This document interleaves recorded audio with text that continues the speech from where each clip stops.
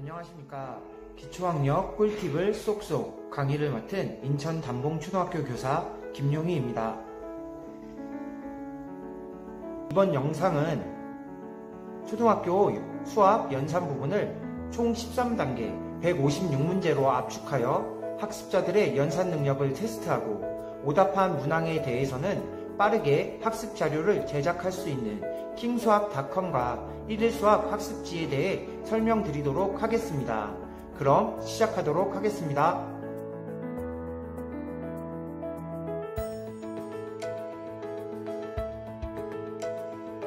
인터넷 주소창에 킹수학닷컴을 입력합니다.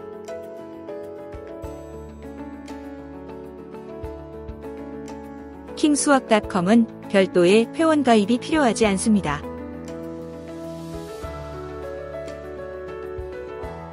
초등학교 수학 연산 부분을 13단계 총 156문제로 압축하여 제공합니다.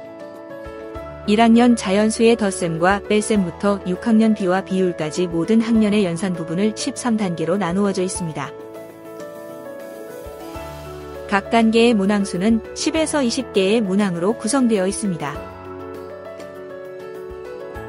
학생들의 수준을 고려하여 단계를 선택합니다. 학습 결손이 어디서부터 일어났는지 확인이 어려운 경우에는 1단계부터 시작합니다.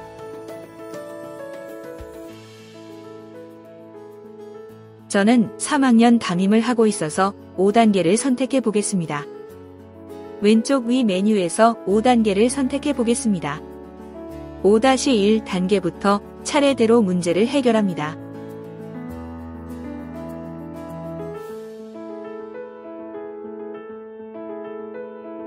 오답을 입력해 보겠습니다.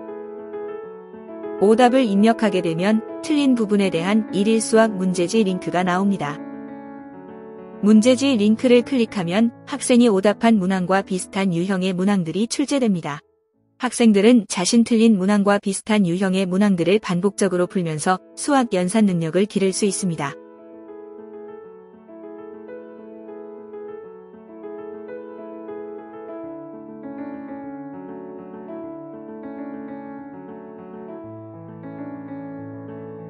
문제를 더 풀고 싶으면 다른 문제지를 클릭합니다.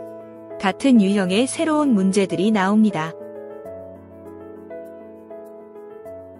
오프라인으로 수업을 할 경우에는 출력하기를 눌러 출력물을 나누어 줄 수 있습니다.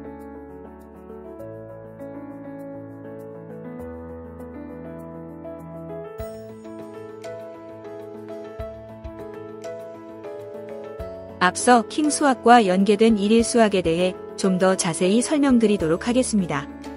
인터넷 주소창에 일일매스닷컴을 입력합니다.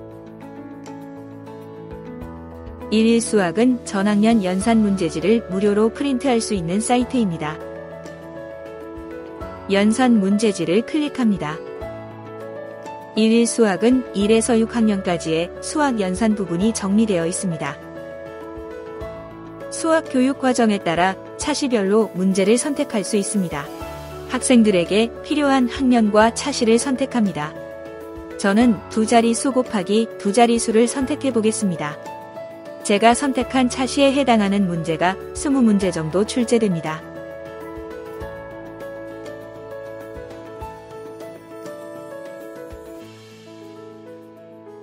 오프라인으로 할 경우에는 출력하기를 누릅니다.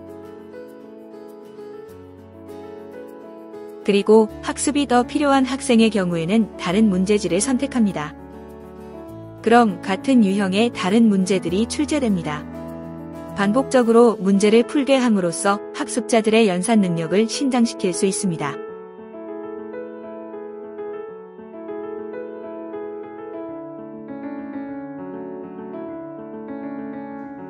네, 지금까지 킹수학닷컴과 1일 수학에 대해 알아보았습니다.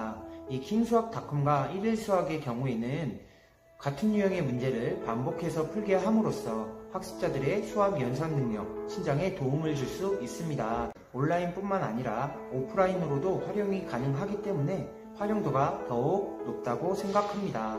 네, 이상으로 학습 지원 대상 학생들의 지원을 위한 킹수학닷컴과 1일 수학에 대한 설명을 마치도록 하겠습니다. 감사합니다.